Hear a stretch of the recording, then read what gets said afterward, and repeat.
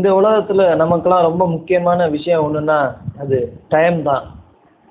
நாம் ஒரு விஷயத்தை ஞாபகம் வச்சுக்கிட்டே தான் இருக்கணும். டைமை யாராலையும் அழிக்கவும் முடியாது தடுக்கவும் முடியாது.